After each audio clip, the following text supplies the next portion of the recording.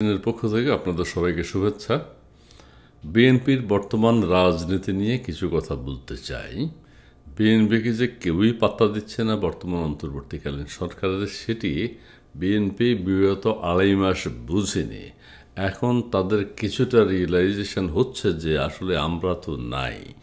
আমাদের কি করণীয় সেই ব্যাপারে তারা কিছু পদক্ষেপ নিচ্ছে যেগুলো দৃশ্যমান হচ্ছে। সেটা নিয়েই কথা বলব। তার আগে একটু বলে নেই যে চ্যানেল সিক্সটিন, প্লিজ সাবস্ক্রাইব করবেন সাবস্ক্রাইব করবেন, কমেন্টস করবেন, লাইক করবেন, শেয়ার করবেন। সেটি কীভাবে?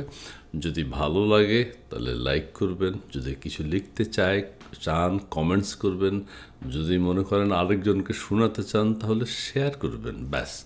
আর যদি মনে করেন যে এই চ্যানেলের সাথে থাকতে চান, তাহলে সাবস্ক্রাইব করবেন প্লিজ আর বিএনপির কথা যেটা বলছিলাম, প্রসঙ্গে আসি, সেটি হচ্ছে যে বিএনপি বিগত দিনগুলোতে আপনারা দেখেছেন নিষ্ক্রিয়তা। তারা মনে করছে যে তারা একটা ভালো অবস্থানে চলে যাবে এবং পাঁচই আগস্টের পর আমরা দেখতে পেয়েছি বিএনপির মহাসমাবেশ হয়েছে, বিভিন্নভাবে তারা অ্যাক্টিভিটিস কিছুদিন করেছে। এরপরেই দেখা যাচ্ছে যে ছাত্র সমন্বয়ক যারা আছে তাদের মুখে বেরিয়ে আসছে, এক ফ্যাসিবাদের পতন হয়েছে, আরেক ফ্যাসিবাদকে আসতে দেবে না। ছাত্র দলের উপর তারা অ্যাকশান নেবে। নানানবিধ কথা এসে যাচ্ছে। বিএনপির কাছে কিন্তু মেসেজ চলে গেছে। জামাতে ইসলামের যে উল্লম্পন আমরা দেখতে পাচ্ছি, দেশবাসী দেখছে, সারা বাংলাদেশে তাদের ইলেকশন যদি হয়, দুই তিনজন এমপি হতে পারে, এর বেশি না। কিন্তু মনে হচ্ছে যেন তারাই ক্ষমতায় আছে। আসলে কিন্তু তা না। কিন্তু একটা বিষয় সবাই দেশবাসী উপলব্ধি করছে, সেটি হচ্ছে ওয়ান ইলেভেনের মতো এই সরকারেরও একান্ত ইচ্ছা এই সরকারেরও একেবারে সুপ্ত ইচ্ছা মাইনাস টু ফর্মুলা। যেটি কোনোদিনও সম্ভব না, তবুও তারা চিন্তা করছে বিএনপি এবং আওয়ামী লীগ ছাড়া বাংলাদেশের বাংলাদেশের রাজনীতি গতিপথ তৈরি করা।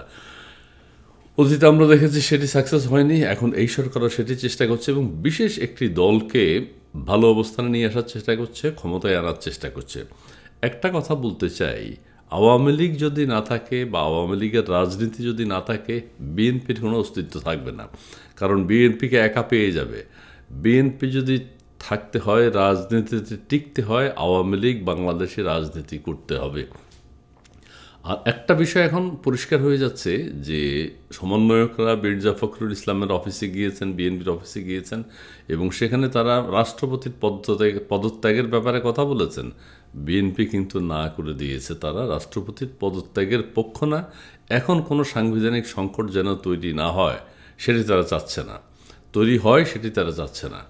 আর বিএনপি নেতা সালাউদ্দিন আহমেদ প্রধান উপদেষ্টার সাথে কথা বলে তিনি বলেছেন যে সাংবিধানিক সংকট আর দেখতে চায় না। গতকাল আরেকটি অধিবেশনে তিনি বলেছেন বঙ্গবন্ধু আন্তর্জাতিক সম্মেলন কেন্দ্রে যে সাংবিধানিক সংকট সৃষ্টির পায় তারা চলছে, এটি তারা চায় না। অর্থাৎ বোঝা যাচ্ছে বিএনপি এখন নিজের অস্তিত্ব টিকিয়ে রাখার জন্য তারা মেরুদণ্ড সোজা করেছে। তাদের রিয়েলাইজেশন হয়েছে যে আমরা দেশের রাজনীতিতে তো নাই, কাজে আমাদের অস্তিত্বের প্রমাণ দিতে হবে। এখন যদি বিএনপি আওয়ামী লীগ সময়ের ব্যাপার যদি এক না হয়, বাংলাদেশের রাজনীতি থাকবে না। বাংলাদেশ পূর্ব পাকিস্তান অলরেডি হয়ে গেছে এবং আরও প্রতিষ্ঠিত হবে সেটি। একাত্তর সাল এবং বাউন্ন, তিপ্পান্ন বছর আমরা হয়তো পার করেছি, কিন্তু আমরা পুরো পশ্চিম পাকিস্তানের অংশ ছিলাম। কিন্তু সেটিকে পাঁচই আগস্ট পুরোপুরি কবর দেয়া হয়েছে। এখন নতুন বাংলাদেশ গড়ার স্বপ্নে বিভোর আছেন বর্তমান অন্তর্বর্তীকালীন সরকার, যেটি বাংলাদেশের জন্য খুবই দুর্ভাগ্যজনক একটা ব্যাপার। সো আশেপাশে যারা আছেন, যে যেখানে আছেন, সবাই একটু সচেতন এবং সতর্ক থাকবেন। বাংলাদেশ নিয়ে কঠোর এবং কঠিন ষড়যন্ত্র হচ্ছে। এই ষড়যন্ত্র মোকাবেলায় সাধারণ মানুষকে এগিয়ে আসতে হবে, রাজনৈতিক দলগুলোকে এগিয়ে আসতে হবে। সেটির ব্যাপারে আমি আবারও বলতে চাই, অনেকে বলছেন, স্পষ্টভাবে আওয়ামী লীগের রাজনীতি যদি না থাকে, যেটি কোনোভাবেই সম্ভব না, ব্র্যাকেটে বললাম আওয়ামী লীগের রাজনীতি যদি না থাকে, বিএনপির অস্তিত্ব থাকবে না। যাই হোক, সবাই ভালো থাকবেন, সুস্থ থাকবেন, সুন্দর থাকবেন। আবারও কথা হবে। ধন্যবাদ।